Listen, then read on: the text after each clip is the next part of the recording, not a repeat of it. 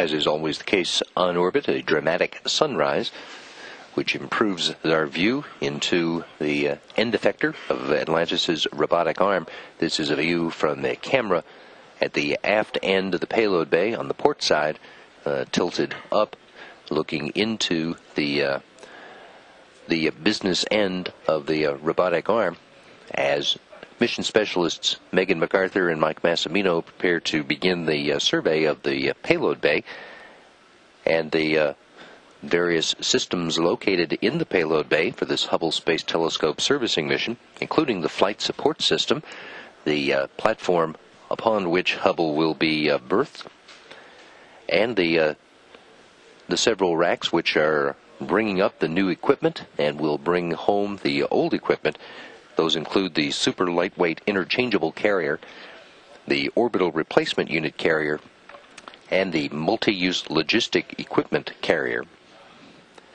Survey of the payload bay We'll also uh, take a look at the uh, other items standard inside the uh, shuttle payload bay, including the uh, tool uh, support assemblies, which are uh, either side of the airlock which uh, in this case is uh, out in the payload bay of the shuttle as well.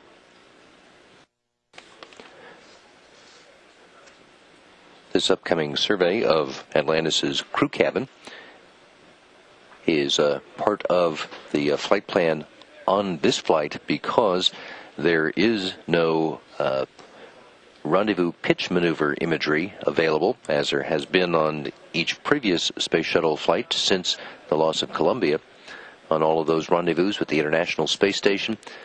Uh, shuttle commanders have uh, flown up to a distance of some 600 feet below the International Space Station and then performed a head over tail backflip to expose the underside of the uh, shuttle to the uh, cameras wielded by space station crew members, shooting uh, with uh, high powered lenses through the windows in the uh, Earth facing side of the space station back in the Zvezda module. Since this flight is not going to the International Space Station, there will be no uh, RPM uh, pictures available. So uh, the current survey will be conducted uh, in daylight. Today's crew cabin survey designed to look for any indications of uh, damage that might have been suffered on any areas of the orbiter during its ride to orbit this afternoon.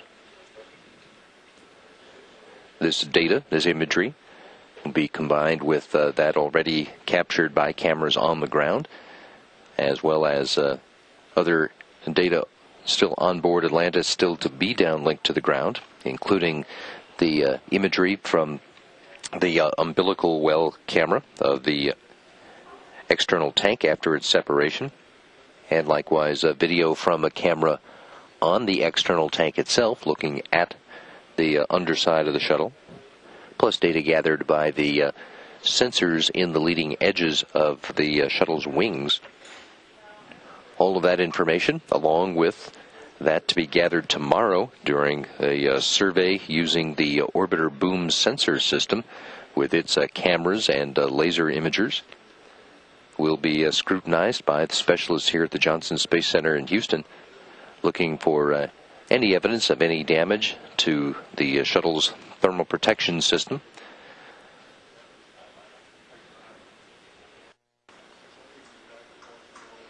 Mission specialist Mike Massimino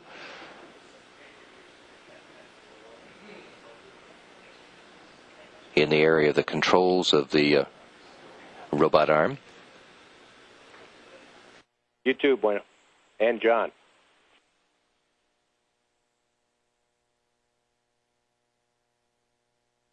That's Scooter. Oh, there he is.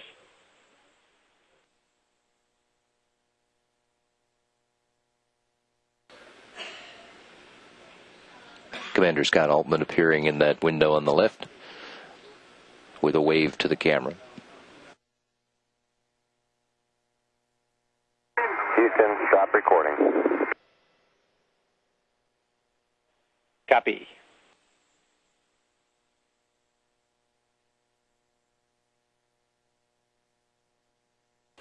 Now in the window at the bottom of the screen, Mission Specialist Drew Feustel getting a look at the camera.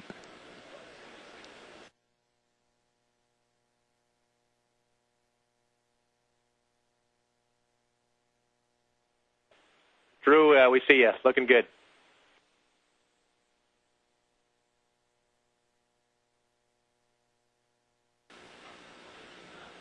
And now the uh, robotic arm continues to move aft. We're uh, moving across the top of the uh,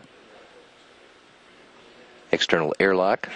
The uh, hatch uh, facing aft, uh, just in the lower right hand portion of our screen, is the hatch through which the spacewalkers will uh, exit for the uh, five spacewalks coming up starting Thursday.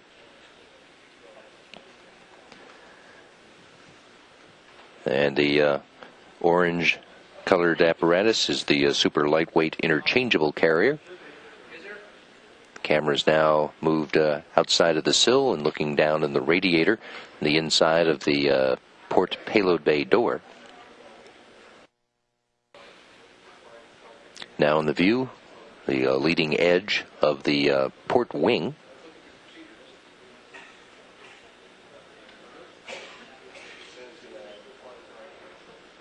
Now beyond the leading edge.